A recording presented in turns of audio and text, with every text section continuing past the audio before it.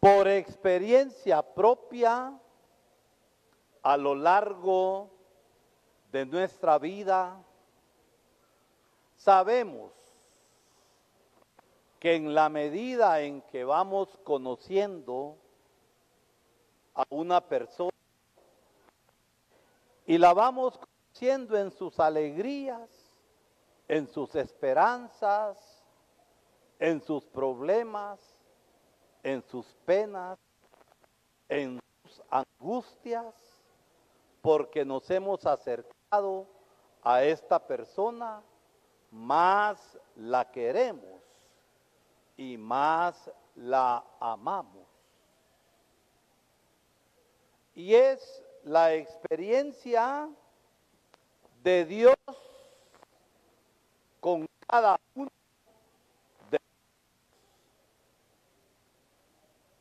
Estamos ya empezando la tercera semana de cuaresma.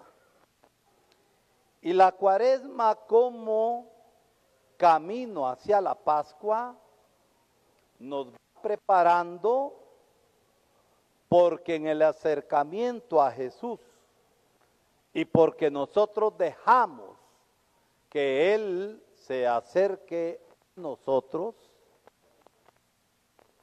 lo conociendo más. Y Él que lo conoce todo, nos ha amado desde siempre, así como somos. Y Dios es cercanía, porque el amor no puede ser de otra manera. Ustedes saben lo que dice el dicho, no me lo voy a echar completo porque ustedes ya lo saben. Amor de lejos es amor de babosos. Y Dios no nos ama babosamente, nos conoce nos estrecha casi por delante y nos conoce de arriba abajo. Así nos dice el Salmo. Y Él es cercanía. Y precisamente la palabra del Evangelio que acabamos de escuchar nos habla de la cercanía. Miren, este Evangelio de la samaritana es un evangelio que nos asombra. Es un evangelio que nos cautiva. Es un evangelio que nos deleita. Y la escena del evangelio la ha preparado San Juan. Y la escena es que Jesús, sediento, porque como hombre verdadero, sin dejar de ser Dios, experimentaba sed, experimentaba dolor. Si no, no sería el Dios hecho hombre. Y en esta sed se acerca y pide de beber. Pero más allá de la sed material, de la sed física que el Señor tenía, era mediodía y el sol arreciaba, tenía sed de amor. Del amor y de la fe de aquella mujer a la que el Señor amaba con entrañas de misericordia. Y por eso se le acerca. Cosa rara. Cosa rara, ¿por qué? Porque normalmente no se miraba bien que un hombre estuviera hablando a solas con una mujer. A veces nosotros somos mal pensados. Y en aquel tiempo también. Y más aún con una samaritana. El Señor es aquel que se acerca a la vida nuestra y se acerca con confianza, se acerca con ternura.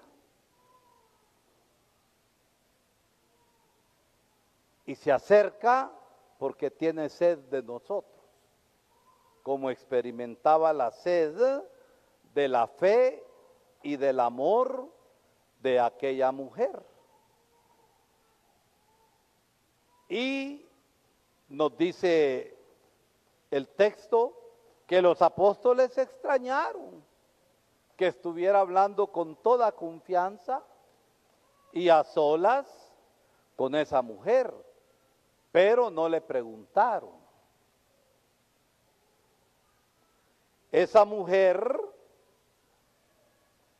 que era samaritana y los judíos, como hemos escuchado, no se llevaban con los samaritanos los despreciaban y los odiaban y los creían paganos.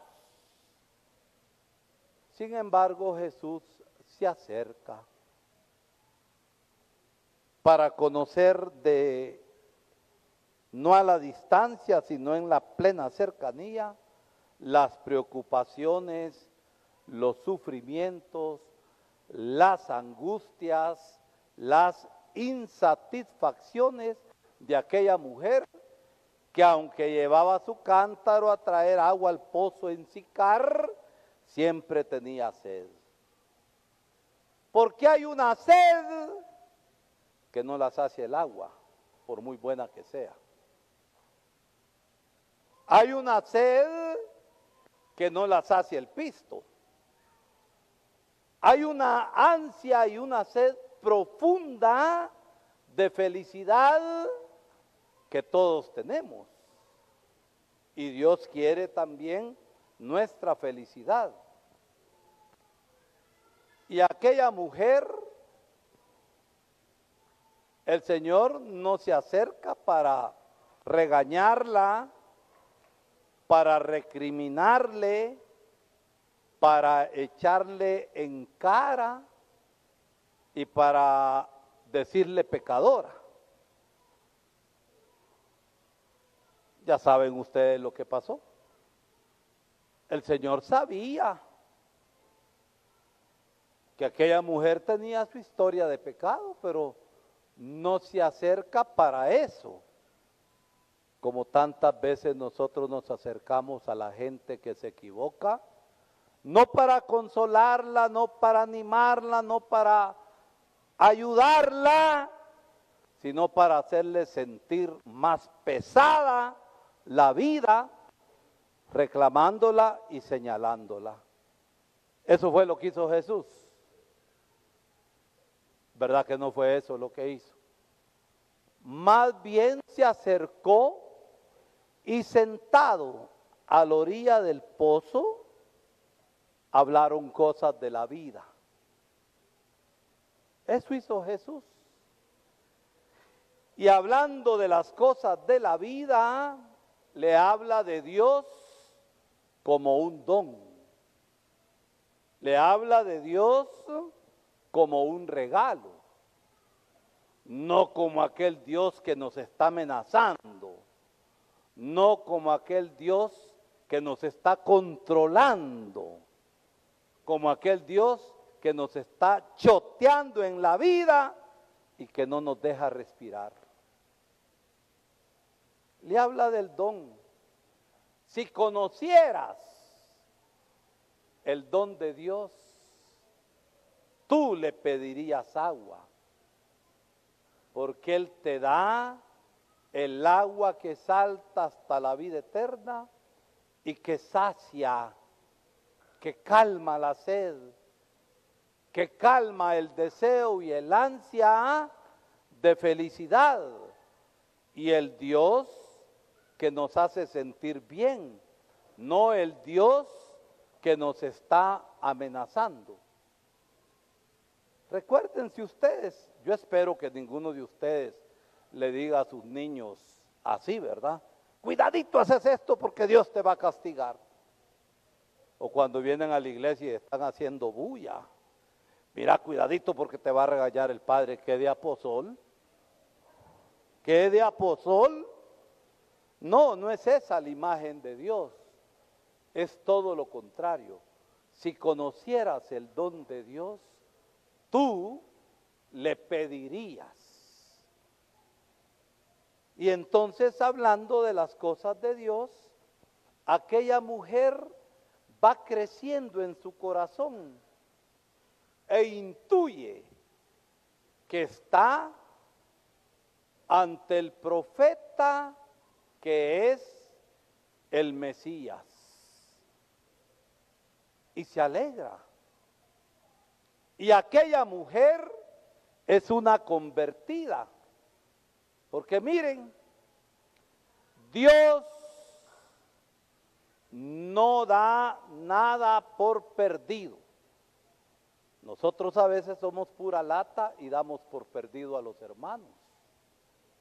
Dios no. Dios todo lo contrario. A aquella mujer, Jesucristo le hizo descubrir la bondad de Dios. Aquella mujer le sanó sus heridas. Porque algunas veces nosotros insistimos en las heridas de la gente. ¿Saben ustedes por qué el chucho le cuesta sanar las heridas? ¿Por qué le costará al chucho sanar las heridas? ¿Por qué le cuesta al chucho sanar las heridas? Muy bien, porque a cada rato está el chucho lamiéndose la herida. A Dios no le importa tu pasado. A Dios le importa tu presente, tu hoy. Eso le importa al Señor. Pero algunas veces estamos y va de rebanar la herida, jodiendo nuestra vida. Y Dios no la jode. Más bien Dios restaura y hace nueva a la persona. Y por eso este camino de cuaresma es un camino de esperanza. Es un camino de alegría. Por eso San Pablo desde el miércoles de ceniza nos dijo que no hay que echar en sacos rotos la gracia de Dios. Y el Señor hace eso, restaura nuestra vida. Y miren, hagamos aplicaciones prácticas, porque la palabra de Dios no son bonitas historias piadosas. La palabra de Dios tiene que ver con nuestra historia, tiene que ver con nuestra realidad, porque es aquí en la historia personal y comunitaria donde Dios va actuando, donde Dios va salvando. ¿No será que aquí en Olopa, en el pueblo y en las aldeas, habrá gente que está sufriendo? Habrá gente que está angustiada que está llena de problemas y que nosotros, la iglesia del Señor, ni siquiera nos acercamos a ellas. Y si tiene fama de que algo ha pasado ahí, uy, pecadora. ¿Qué se ha creído usted? ¿Suda agua bendita usted? El sudor es tufoso como el mío, dejémonos de cuenta. Entonces, miren, hay que saber acercarse. Cuando esto pasa, que no nos acercamos, algo anda mal en nuestra iglesia de Olopa. ¿Cómo queremos que en medio de las situaciones del mundo de los sufrimientos, de las penas, de los problemas, de las angustias, las cosas puedan cambiar. Si no nos acercamos a tocar las llagas del Cristo que está sufriendo, algo anda mal. Cuando ante los problemas de la gente, y la gente tiene sus juicios. ¿No han oído ustedes comentarios que dicen, ah, es que doña Renata, nadie se llama Renata aquí, ¿verdad? Es para dar un ejemplo. Yo me llamo René. Es que don René, es bien René, me llamo yo. Es que don René es bien católico. Y es rete católico. Y la gente se siente excluida. Y a esa gente que no participe en la iglesia, porque quizá con nuestro comportamiento demasiado puritano, nosotros le hemos bloqueado y no nos preocupamos por ellos. Y el Papa constantemente nos dice que hemos de estar en salida buscando a los que están excluidos, ya sea por qué, porque nosotros los hemos sacado con nuestros comportamientos, faltos de misericordia, faltos de comprensión, y a veces la gente no se siente iglesia. Ustedes, los católicos, los rete católicos, los que siempre van a la iglesia, cuando la gente está y busca algo del Señor, lo primero que hacemos es señalarle las normas que hay en la iglesia. Y no les hablamos de la ternura, no les hablamos de la misericordia de Dios, sino que les ponemos la ley. Yo me pregunto, y me lo pregunto para mí, porque mire, antes de hablar esto con ustedes, me lo pasé yo por mi vida, porque el que predica no habla para los demás. El que predica habla para su propia conversión. Y aquí en la barca del Señor vamos todos en medio de las olas, en medio de las tormentas. ¿No será que nosotros no hemos tenido cercanía a las llagas del sufrimiento de la gente? Y por eso la gente no responde. ¿Por qué? Porque no se siente amada. ¿Qué hizo Jesús con la samaritana? El Señor sabía que el quinto que tenía no era marido. El Señor la prejuzgó. El Señor la acusó. El Señor la regañó.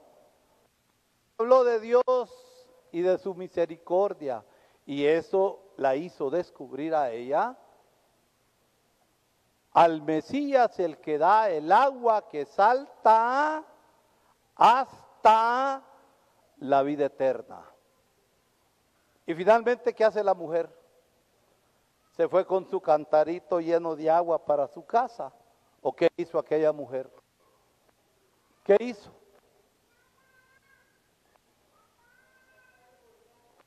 Empezó a proclamar chismes Ah, es que la fulanita, yo la vi con fulano y a saber, quién sabe, vieja puritana.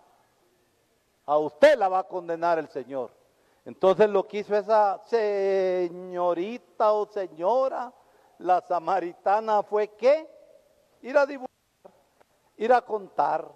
¿Y sabe qué es lo bonito? Que la gente le creyó. Y se acercó también al Señor. Nosotros acercamos al Señor a los demás o los alejamos. Pregunta que me hago yo y pregunta que les hago a ustedes. Esta fiesta de la Madre, el Divino Pastor, porque solamente Dios es divino,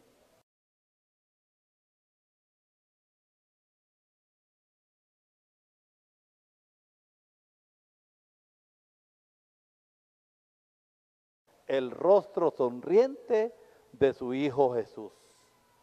¿O Jesús tenía cara de vinagre? Díganme, Jesús tenía cara de vinagre. ¿Verdad que no? Entonces que María Santísima nos vaya mostrando el rostro sonriente de su Hijo Jesús, para que lo sigamos como ella lo siguió. Por eso aquí en Olopa, ahora con la fiesta patronal, se trata de renovar bien nuestra fe, ir teniendo las virtudes de María y los sentimientos de Cristo Jesús y el acercarnos a la gente para amarla. Decía San Agustín que si uno quiere conocer a una persona, no hay que preguntarle qué piensa, sino que hay que preguntarle qué ama. Porque cuando llegamos a eso, llegamos al corazón de la vida de las personas. Y no se trata de andar hablando qué piensa la iglesia, sino que se trata de ir amando como la iglesia del Señor ama.